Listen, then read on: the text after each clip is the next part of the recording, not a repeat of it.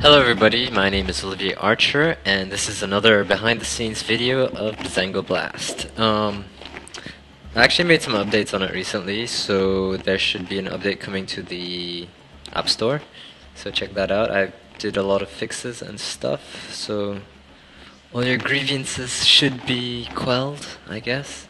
Alright, today's episode I'm going to show you a little bit of the uh, cel shading effect. Ooh, the lines. You must be thinking, what? How do you have the cel shading effect? There are no post processes in UDK Mobile. Like, yes sir, you are correct. There are no post processes in UDK Mobile. However, the lines themselves are actually just geometry. They are a model themselves.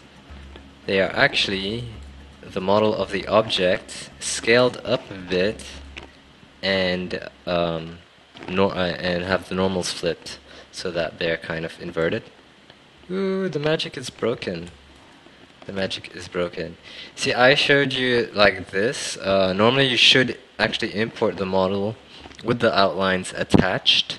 Uh, because if you have it like this, that's two draw calls, and that's not very performance. Uh, it's not good for performance, basically. And um, yeah, also it's two textures to everything. So you get the increased poly count plus increased draw call and stuff. Me just put that back. And then it's all good like that. Uh, you should actually just have it like this. For example, this is a block. It's all one model with the outline, as you can see. And it's been UV mapped, it's all, everything. The, um, the you see those little boxes in the right hand corner on the top? That is actually the lines so they just take that spot of black so the lines become black. And that's about it. It's pretty simple. You just in your 3d program you make your model.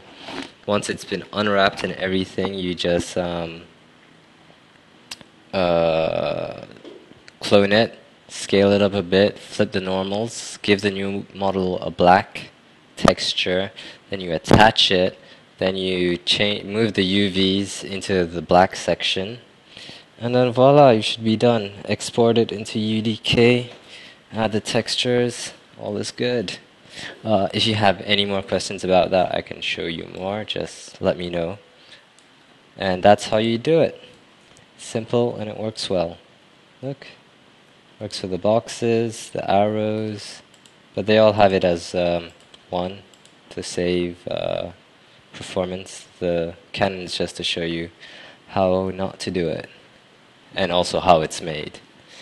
Um, another thing that I would like to show you is level loading and transitioning in uh, the UDK. Uh, when I was learning how to use the UDK, this was a scary thing for me and I had no idea how to do it but I managed to figure it out and so I'll share.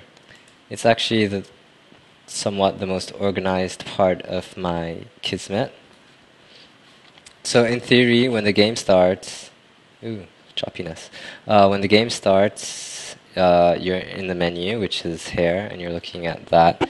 You press play, you go to the level select, and then you go to the level select, and then these boxes fall down and then there are the buttons. So when you press, for example, when you press button number one, this activates a sequence, a remote sequence that says, uh, tells the game to prepare a map change. It prepares a loading map. My loading map is actually just an empty map, and it, all it does is tell activate an event loading when it's when it's loaded. So it activates other things. It's very simple. It's an empty map. It loads instantly. There should be no actors or anything in it. Just that Kismet. Uh, I don't know if my method is the most orthodox way of doing it, but it works very well for me. So you have your prepare map change. You commit the map change. Then you have a force garbage collection. This is important, especially for restarting, because it just removes all the other stuff that you no longer need for for the new level. So it kind of cleans up stuff and then you prepare the map change for um, level 1 and then you commit it. This extra stuff I have added is for the loading slides. I used buttons to do it because uh, they'll scale better on the iPad, iPhone. Uh, draw image is just not doing it for me. Alright, so that's how you load the first level. It's uh, these five nodes and it will transition you. Also, an interesting thing about the loading level, I have a player start that's facing towards the sky. I'll show it to you. So the loading screen actually is this area. You're looking out at this sky. Uh, I did that on purpose because it looks nice. So every time you load, it goes to loading screen, it goes to this player start. So remember that. It, uh, all the levels need a player start. Alright, back to the Kismet. So that's how it works. I hope it's not too confusing. So, all right, you're back on the menu. Uh, you're you're on the level, and you want to go back to the menu. Sorry about that. So when you go to click the main menu button on in the level, it loads the loading level again, and then it does a force garbage collection, and then you have to set a camera target back to where you want to go. So that's here because uh, the menu is always kind of loaded. We that's why there's such an aggressive cull on it, so that way when you're far away from it, it just disappears. Wait, it should disappear. Here we go, and it just disappears. That's for performance reasons. Um, this reason is the reason it's like this is because the menu level is a persistent level, so it's always loaded, so you can't just load it again. So what we do is we go to the loading screen to tell uh, the game to remove the old level to do the force garbage collection. And once it's done that, well, while it's doing that, it, um, goes back to the main menu, which is already loaded and waiting.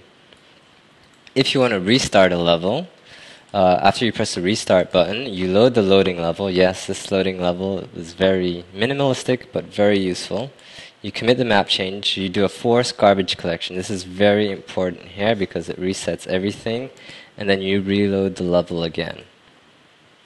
This is some stuff that I optimized, so I don't need it anymore. And if you want to do the next level, it's the same thing. You prepare the loading level, you commit it, do a force garbage collection to remove all the other stuff that was there before. Then you prepare the map change of the new level, and then you commit it, and then that's it. It's a system that I've used. Uh, it's worked very well. I've done it for all the levels. And yeah, I hope that was helpful. If you have any questions or comments, I would love to hear them. I will do some more videos. I got a few requests. Uh, in the next video, I'll probably show you how the ball is shot and anything else that gets requested. So, thank you for watching. I hope you enjoyed. Bizango Blast is on the App Store. The update's coming soon. Yeah, have a good day.